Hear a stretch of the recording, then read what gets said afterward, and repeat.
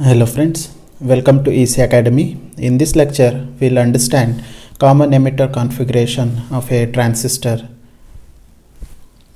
Figure shows the common emitter configuration of a transistor. Here a PNP transistor is used in common emitter configuration. You can see we are using a PNP transistor. The emitter terminal is common between input and output. So the emitter terminal is connected to ground and here IB is the input current.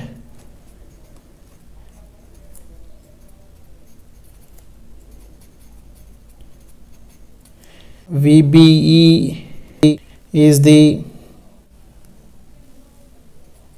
input voltage. IC is the output current.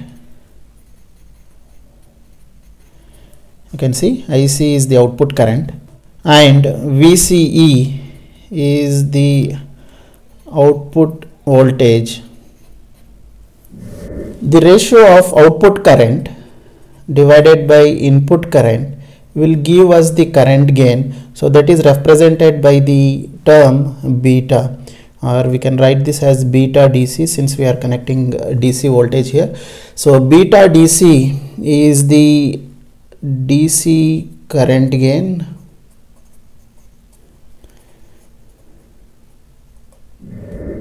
Now let us understand the input characteristics of common emitter configuration.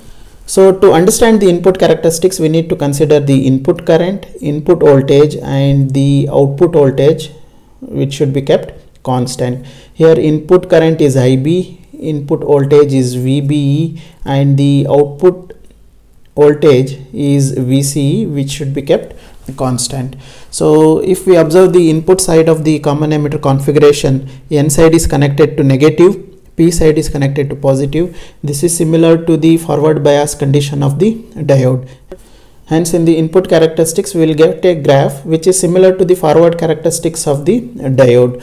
So initially as we keep on increasing VBE the input current will be very small until the applied voltage reaches knee voltage. So once the applied voltage reaches knee voltage the current increases linearly. So so this graph which we have obtained for VCE which is kept constant at 5 volt. So as we increase VCE and we'll keep VCE as 10 volt constant, the graph starts shifting towards right hand side as you can see here, right? So this shifting of the graph is due to the effect which is known as early effect. So in the future lecture we'll understand what is early effect. Now let us understand the output characteristics of common emitter configuration to understand the output characteristics we should consider the output current output voltage and input current which should be kept constant. So output current is IC output voltage is VCE input current is IB which should be kept constant. Initially we'll make uh, IB is equal to 0 so let us consider the equation IC is equal to beta DC IB. So in this equation if we make IB is equal to 0 we should get IC is equal to 0 but we'll get some current as you can see even for IB is equal to 0. So this current is due to the reverse bias condition of collector base junction. So this current is due to the reverse leakage current. So now let us increase IB to 10 microamperes. So we know small variation in base current will cause large variation in collector current. Hence initially the output current will be less compared to the input current. Then the current increases more than the input current. So small variation we have done here for base current.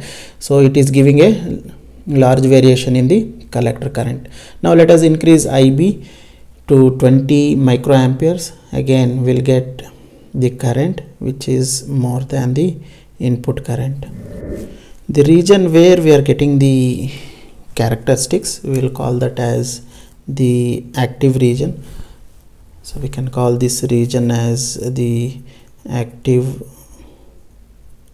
region. And the region where the current reaches 0 so as we make VCE positive the current will become 0 so the region where the current becomes 0 we'll call that as saturation region. And the region where the transistor is not conducting we'll call that as cutoff region. Hope you have understood the topic. Thank you